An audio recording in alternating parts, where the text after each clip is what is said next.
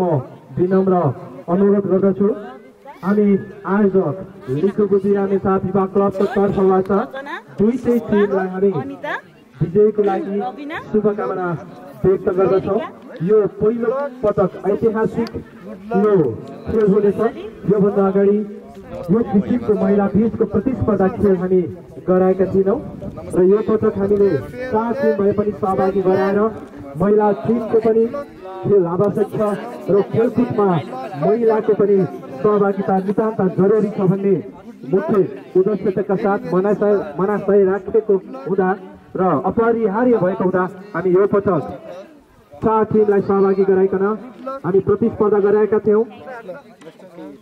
चार टिममा कास्ते मादी र लिकुबुजी रामेसाबु क्लब खिजी चण्डेश्वरी र रोजनीका टिमहरू सहभागी भएका थिए। र यसपछि म अहिले नेसनल